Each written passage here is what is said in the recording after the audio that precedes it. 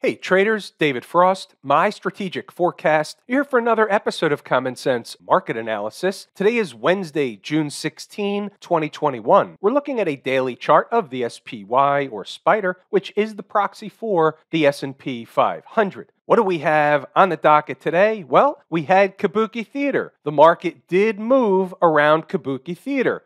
Again, that's the FOMC announcement and then the press conference following the announcement by the Fed chair, Jerome Powell. So they had all that stuff. It's now in the rearview mirror. So let's pick apart the markets and see what happened. So, from a daily chart perspective, we just want to look at the chart. We want to make the assessment from a 30,000 foot view. Did anything happen today? Again, with the daily chart, we don't even care that there was a Fed announcement. We don't care about what the news was. All we're looking at is the chart. Let's just say, for argument's sake, we came in at four o'clock, we looked at the chart, we had no idea what happened all day long, and we said, Did anything change? That's basically the way I try and look at the daily chart. And what I would say today is, eh, in a big picture scheme, nothing really changed, but they did run a test of the 20 period moving average. However, staying above all the moving averages, the trend is still up. The trend is the dominant thing. Therefore, nothing really happened from a big picture perspective on the daily chart. Now, I'm obviously going to take it nine steps further. However, still on the daily chart, I'm also going to take a look at something that some of you may see, some of you may not see. So I'm seeing a potential gap, but it looks like that gap was filled. So that's interesting. Now let me look at the numbers. 418.77 is the gap. The next day's low is 418.84. That means technically it's an open gap. Okay, fair enough. Because we want to be a market proctologist and we want to look deeper into things, 418.77 was that number. Now let's go down to a different chart and see what we find. And by the way, incidentally, you'll note when we go inside the numbers that that was one of the numbers that was put on the board where the market may run a test of or pay a visit to as an extreme from when it was a lot higher, knowing that the Fed could disjoint the market. So we have to look at extremes. Where would they go on the downside? Where could they go on the upside? And this general area within pennies was one of the numbers. Now, here's an hourly chart. You see there was an open gap down here.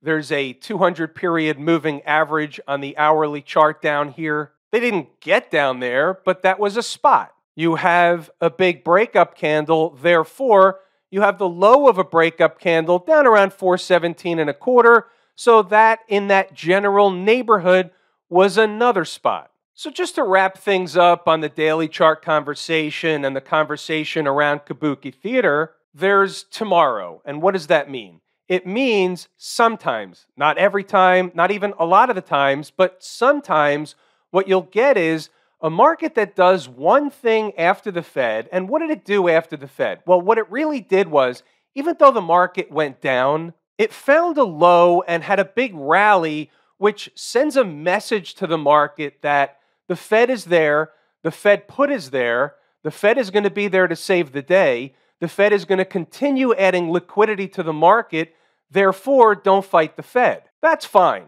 However, there's always the next day. So the next day, somehow, some way, for some reason, maybe the market is now going down. You wake up to a gap down, or the market goes down tomorrow. What they'll do, and they being the media, what they'll do is they'll assign the same reason that was present today for tomorrow's decline. What they'll do is they'll reinterpret the Fed's information. They'll reinterpret it so that their news story fits the direction of the market. That's just the way it works. It's the same one as you have an earnings report, you're long Apple. All of a sudden, Apple keeps going up right after the earnings, and then it turns around mysteriously and starts headed down. And what they said is the numbers were great, and that's why the stock is going up.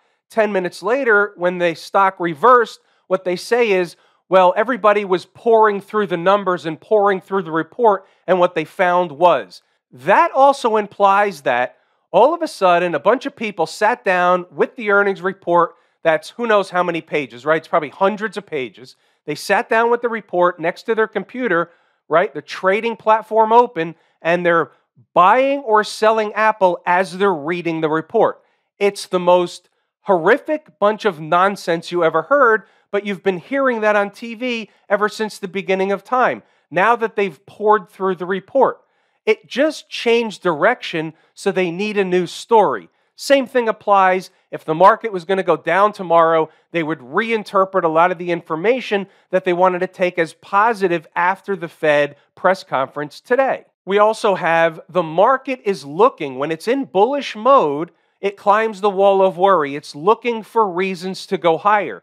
One would say, yeah, but we have X, Y, and Z, A, B, and C. We have 572 reasons till Sunday why things are terrible why the market should be falling apart. And the reality is, the market doesn't care. Nobody cares about that stuff until they care. When do they care?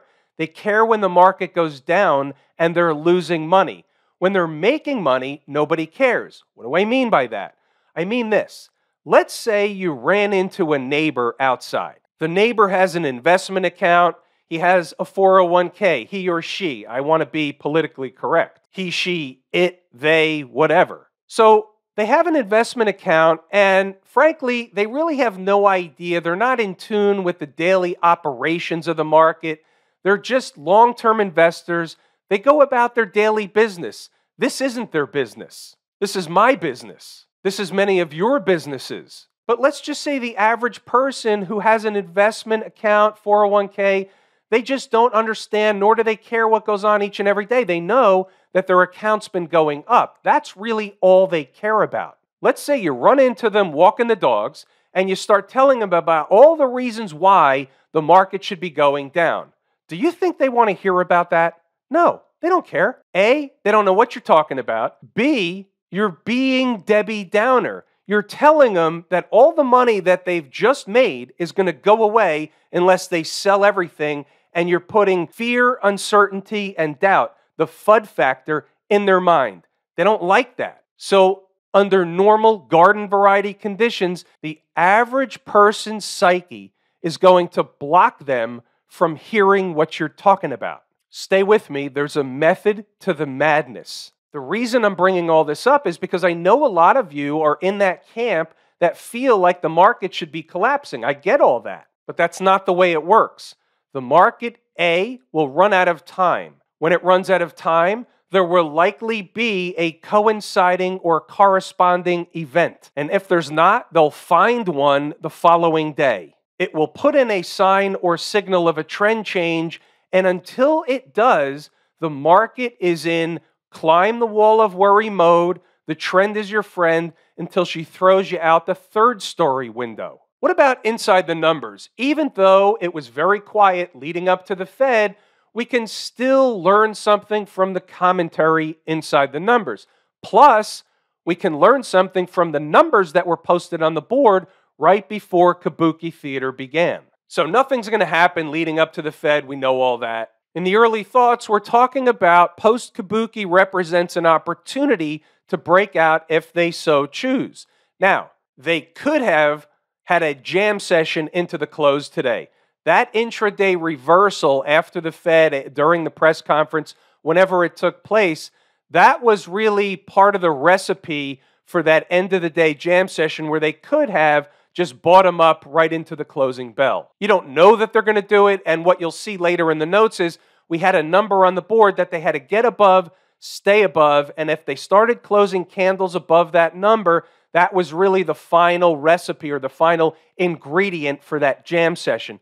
They didn't really do that, and so therefore they actually dripped into the closing bell. We also have to have the awareness that at some point a sharp fall is the awareness that will eventually happen. We don't guess at it or anticipate it. We're aware of it with the knowledge to act upon it. So we're looking for the signs and signal of the reversal. I keep saying that. Where do you find that? What does it look like? It's found in the course Lazy E Mini Trader. And so what happens is things begin on a short term chart and then they morph onto longer term charts or larger charts. And that's the way we have to do it. The market's going to let us know on a short term time frame first and if it begins confirming on subsequent time frames, that's where we actually get puzzle piece after puzzle piece after puzzle piece that allows us to put together the picture of what's likely to happen next. Let's see what else we've got as the day gets underway. We had some numbers on the board. Four and a quarter, 46 is the current top or overhead resistance. That was yesterday's high. 423, give or take, is the lower portion of the current range. Just so you get the visual, here's the five minute SPY right at the vertical today's activity. And 423, while it was the lower portion of the range, they didn't get there until the afternoon before the Fed announcement. What they did was they actually ate time off the clock over it. What does that tell you? It's making a bearish pattern. Again, after the Fed, anything goes. So you kind of throw the charts out the window for a while because you can get that EKG thing going around the Fed. Market goes up, market goes down. So all the patterns that were forming the prior hour or two or three or whatever it was, they really can get disjointed around the Fed announcement. That's why I like to call it kabuki theater. Well, it's not the only reason why, but it's one of the reasons why. Anyway, later on, they should get moving, and they did get moving. So we'll scroll up. You can pause the video and certainly read the stuff and go back to the charts and double check the work. I urge you to do that. 945, 423.70, give or take, will be support if tested. Closing candles below could be trouble for the bulls. That's at 945.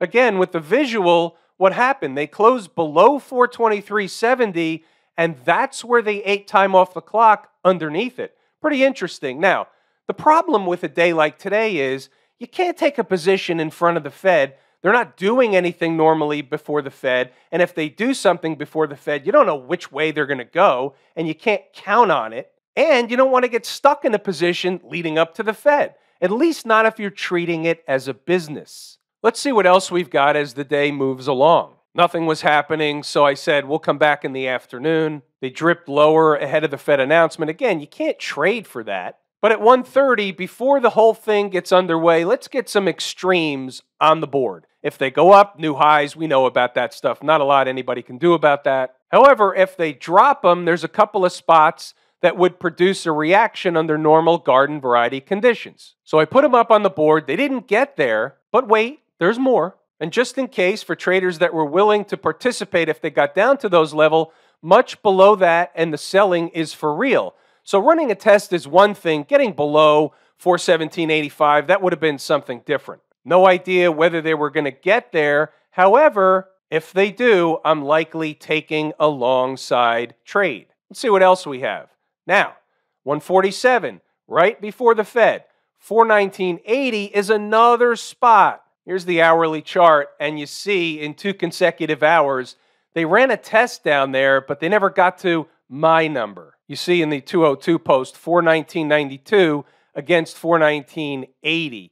Big bounce, still anything goes between now and the press conference. That was what was going on. That was Kabuki Theater. Very difficult to trade frankly, many times more enjoyable to watch. Moving along, see what else we've got. As the press conference is going on, they're looking for any excuse or reason to continue going higher, a la the bounce off the lows. A recapture of 423.15 on candle closes, and they can take another leg higher If that begins to happen, it could be the recipe for an end of day jam session. Even though there was little time left in the day, it became apparent to me that 423.15 was really an important spot. Another number down here, 421.60, has the Bulls in control, but if they can get above 423.15, another leg higher coming. So you see, repeat, another repeat, keep repeating. It was that important. Now we're looking at a 10 minute chart, and you see here on the right hand side, 423.15. They made a run for it. They tried to get above. They closed one 10 minute candle above, and that was it. They couldn't do another. They couldn't do a 15. They couldn't do anything else. And therefore, they fell away into the end of the day. But that was the ticket. That was the spot. They needed to get above there and stay above there in order to have another leg higher and a potential jam session run them into the closing bell. They couldn't do it. And then you can see we go into the end of the day, and certainly when you run out of time on the clock, what happens into the end of the day is an anything goes scenario. What about stocks on the move? Did we have anything going over there today? And the answer is yes, we did. We had the first two of Five on the list hit their price target or entry objectives HRB and Oracle, ORCL. The others didn't get to their numbers, they're off the board. Now, HRB is the first one we're going to go over, and it looks like it blew through the first number and went to the second and then went back up. That's the look from this chart, but that's not really what happened. What really happened was it came in the second minute of the day and pulled up one penny short. The low was 23.63 and it rallied away. When that happens, and you know the way I am, I like to paint by the numbers. I don't want that number anymore. Sometimes they work, and sometimes they don't. But my experience is more often than not, they don't. But it reduces the odds of the initial number working to the tune or to the magnitude that most of them work. So when I take these out of the equation, this is where I come up with the high percentage of wins. What I mean by that is they either come in my way or it's the highway. So if you think about this and paint by the numbers, what happened? Now, what happened was the second number was activated, the second number worked. Where did they go? They went back to the first number. So now what do I say? The numbers work. Just from a conceptual standpoint, the stock found support in the zone that we identified in the pre market, period. By the way, here's a daily chart, and you're looking at the second number. Don't we discuss this all the time? Isn't this considered where the stock actually broke out from? It rallied up to that point and it couldn't get through. It pulled back and it finally got through. So, what did it do now? It rallied up and came back to test what? A former breakout area. How many days in a row do we discuss this?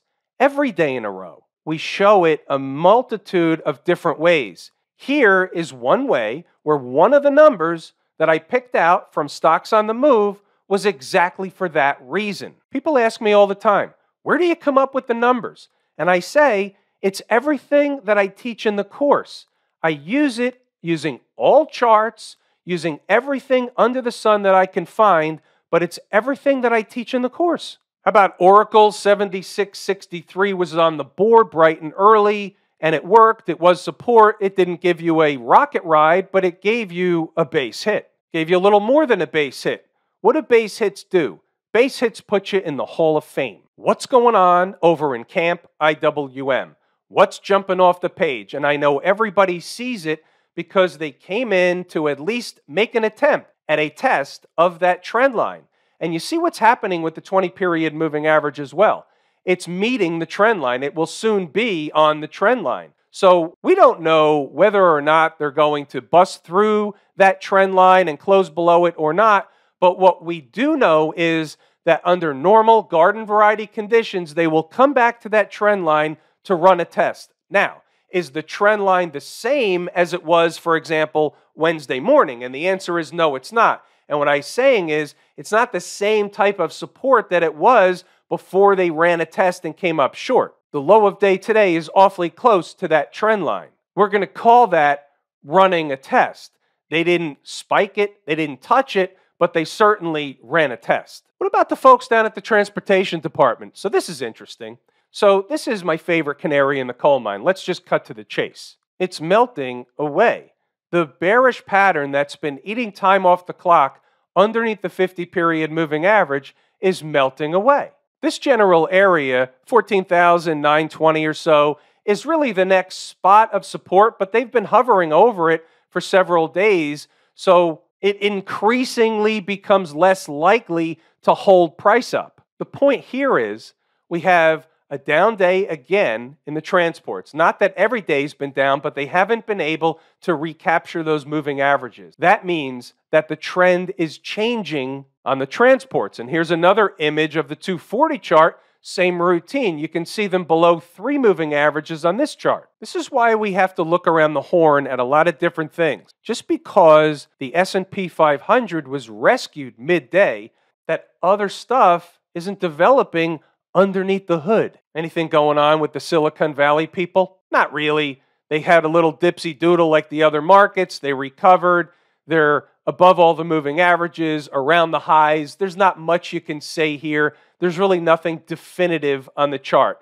Either they're going to continue pushing higher or they'll fail, but you don't know that they're going to fail until they really get below around 330. XLF and the financials we know are sensitive to the Fed, that whole thing. We discussed it a couple of times. So, from a daily chart perspective, what we see here is a test of the 50 period moving average, nothing more, nothing less. They ended up down 10 cents, and we can't really make heads or tails out of that one. And we've done this before. You'll find this interesting. So, the daily chart, we just looked at them running a test of the 50, and at the same time they were doing that, it was the 100 on the 240 chart, it was the 200 period moving average on the 120 minute chart. We'll call that a trifecta, and I think we did that the other day, and I can't remember what vehicle it was we did it with, what stock it was. But when you see something like that, the odds increase. We're getting a stack, whether it's a full stack, a half stack, a three quarter stack. The more stack, the more items you get to stack on top of each other. And when you get three moving averages all hitting at the same time on different charts, what are the odds that price is going to blow through all those all at the same time, or they're going to bounce off that convergence of moving averages. And using the 80 20 rule, the majority of time, you're going to get a bounce off the moving averages. Sometimes they'll blow through it, but this is the risk business. And when you have those kind of percentages in your favor, sometimes you just have to take on the risk. Now, I didn't even see this when it was occurring. I saw it now when I brought up the charts. I have another screen where I look at a whole host of charts, so I see everything out of the corner of my eye all at the same time. Smash Mouth, down a little bit at the end of the day, but just like the cues, again, we can't say anything other than above all the moving averages, they're pushing on challenging the highs, but they're not at highs, so we'll see. It still could be the lower high scenario but we won't know unless they begin to break below the moving averages. That's the way this one's going to work. And have I told you how much I appreciate each and every one of you? Without you, these videos are not possible. That is true and accurate information. We're going to pull the ripcord here today. I'm David Frost, my strategic forecast. Thanks again for tuning in to another episode of Common Sense Market Analysis.